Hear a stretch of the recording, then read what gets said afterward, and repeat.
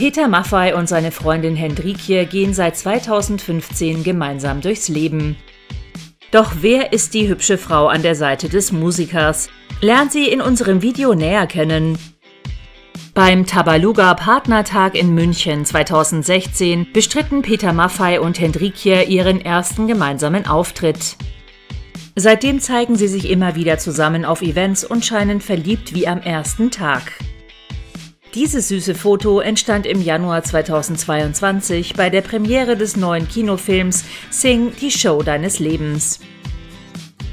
Hendrikje verzaubert dabei immer wieder mit ihrer fröhlichen Ausstrahlung und sieht mit ihren blonden Haaren und den strahlend blauen Augen einfach umwerfend aus. Die Blondine und den Musiker trennen 38 Jahre Altersunterschied.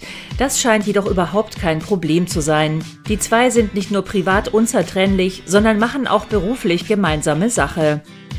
Vor ihrer Beziehung mit dem Sänger arbeitete Hendrikje zwar noch als Lehrerin, doch dieser Job ist nun Geschichte. Seit Jahren arbeitet sie bereits für Maffeis Tabaluga Stiftung. Bei ihrer neuen Arbeit fühlt sich Hendrikje sehr wohl.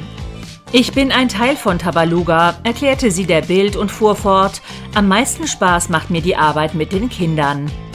Außerdem liebt Hendrikje die Musik. Als Background-Sängerin steht sie gemeinsam mit Peter Maffei auf der Bühne.